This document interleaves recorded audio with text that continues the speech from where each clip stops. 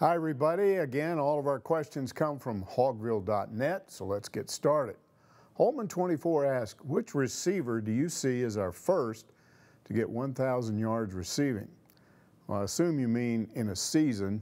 As many receivers as they have, uh, I don't think they're going to, one of them is going to get 1,000 yards in a season, but if it happens, you know, I'd go with Treylon Burks. Uh, the kid is so fast and so big.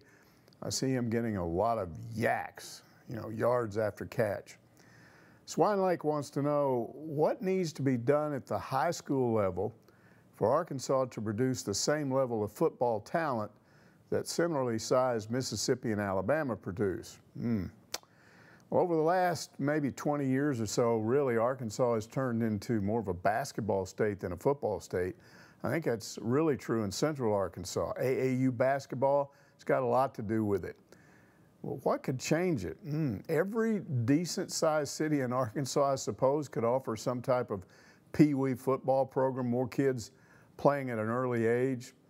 Junior high and high schools making a big deal out of seven on seven tournaments. But honestly, it boils down to coaching. Look at all the college players that have come out of, out of Warren under Bo Hembree and Kevin Kelley at Pulaski Academy. Arkansas needs more of those type high school coaches.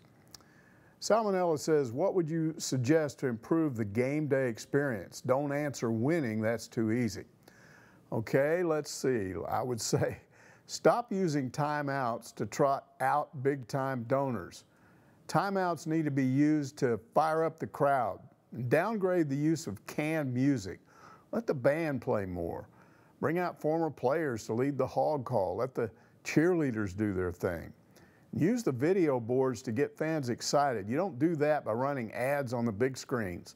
Fans get enough of that back home watching TV. Okay, Hog Cards wants to know, you mentioned a possible conference move to the Big 12 for the Razorbacks under a certain scenario. Did you base that on the Razorbacks' recent struggles on the field or dwindling attendance numbers? Uh, what factors would prompt the Razorbacks to make such a dramatic move? Would it be would would the SEC even allow it? Well, the SEC has no way to keep a team in its conference, but if one decided to leave, there would probably be schools lined up wanting to take that school's place. Now, my remarks had to do with recruiting in Texas. You have a better chance of getting your name in front of recruits if you're playing games there. Now, one game a year in Dallas is not enough. Also, uh, it would be easier for Arkansas fans to travel to Big 12 games. Now, if the school ever did leave the SEC, it would be likely as part of some kind of a trade. Let's say West Virginia goes to the SEC, Arkansas takes its place in the Big 12. So will that ever happen? Uh, not likely. Justifiable Hogicide asks, who will be calling plays for the offense this season, Morris or his offensive coordinator?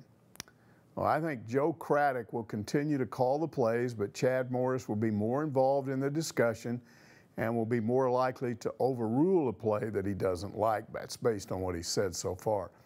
Earl Campbell's shot line observes it seems like the heart, passion, and desire of head coach Houston Nutt's years have not transitioned to more recent teams. Will we play with the heart in the first game or lose? Okay, look, Nutt was a rah-rah guy, but in my opinion, that's not why most of his teams were successful. Nutt had talent. Uh, there, has, there hasn't been a like a D-Mac or a Felix Jones, Peyton Hillis, and certainly a Matt Jones in a long time. And there were a lot of other guys in those years, uh, guys, guys like Clint Stoerner, Anthony Lucas, uh, Cedric Cobbs, Marcus Monk. If the current staff turns this program around, it will be because of recruiting. Does that mean playing with heart doesn't matter? No. But if you start with talent, that's where you begin, and then maybe after that you add the rah-rah stuff. And here's another Houston Nutt question from Hogtied. Just how dysfunctional was the 2006 football team? How do you think Houston Nutt would have been, uh, do you, how long do you think Houston Nutt would have been our head coach if he would have put his ego and pride to the side that season instead of out front? Also, was Frank grooming him for AD? no way Frank Broyles was grooming anybody to be the AD. He was going to stay in that job as long as he could. Now, the team was dysfunctional. I had an offensive lineman on that team tell me afterward that the players argued with each other too much. He called it a, a fractured environment. Now, some guys who really liked Nutt as the head coach allegedly harassed others that they thought didn't support Nutt. But honestly, the real problem came from outside the team. There was a plan by certain boosters to bring in Gus Malzahn, eventually make him the head coach, and get Nutt to agree to become the AD. Now, I don't think Frank Broyles knew about that plan, and I don't think he would have agreed to it. I think Nutt did know about it, and he wanted no part of it, and that's where the problem began. Nutt worked behind the scenes to discredit those people, but he went after the wrong people, shot at the wrong target, so to speak. Now, it was inevitable that Frank Broyles was going to be forced out as AD at some point. Question is, with all the drama of uh, 06 and 07, would Frank have been allowed to name his own successor, and would the new AD have kept Nutt? Uh, there's just no way to answer that question, but I say I would say it's possible, uh, but who knows? Back to the present time, Old Bear says there's been much discussion of naming the starting quarterback and when it should be done. I would love to hear you list the advantages and any possible disadvantages of waiting until game week to name the starter. You know what? It's, it's really pretty simple. If you have a clear cut starter, you name him as soon as possible. But you need to be certain that he's the guy. And if you're not sure, then you wait. Now, I don't have an issue with waiting or even playing two guys in the first game if you think each are winners and you still can't decide. What you don't want is a situation like last year where every time you start leaning toward one guy, he changes your mind by making mistakes. And for the record, I don't think that's what's going on this year. Okay, the next question is from Squid Billy, and that's the way he spells that. Mike, when you compare Coach Morris to the other Razorback head coaches that have had reasonable success here, are there similarities between them that make you feel good that he can get it done here? We know we all know Arkansas is a somewhat unique job that needs a certain kind of coach to lead us to success. You know what? There are some comparisons, I guess, that could be made to Frank Broyles. Frank was a head coach at Missouri before he came to Arkansas. Missouri, uh, Morris was at SMU. Both had backgrounds in Texas. Frank had been an assistant at Baylor. Morris was a high school coach in many years for Texas and later an assistant at Tulsa and Clemson. Frank recruited Texas heavily, and so is Morris. Frank uh, saw the uniqueness of Arkansas, and so does Morris. But to me, the difference so far is the staff. Frank surrounded himself with coaches that were on the way up. Many of them went on to become outstanding head coaches themselves.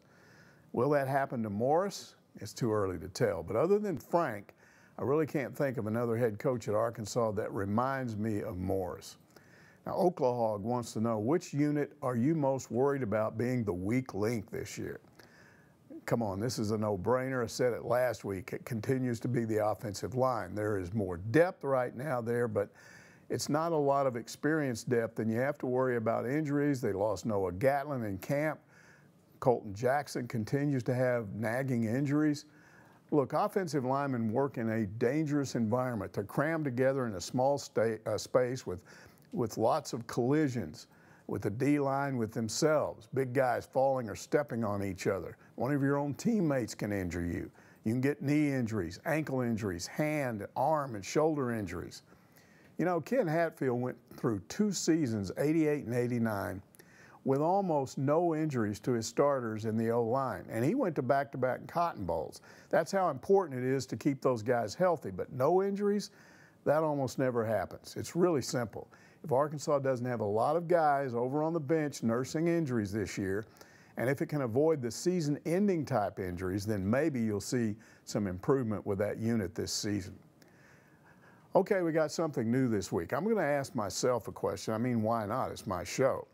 If you were a coach, what is the number one thing you would change from what we see in college football these days? No question, showboating.